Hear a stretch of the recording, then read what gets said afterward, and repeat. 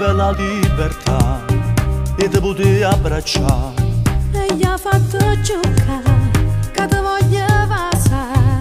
Dimmi pure tu, che non me lasci più.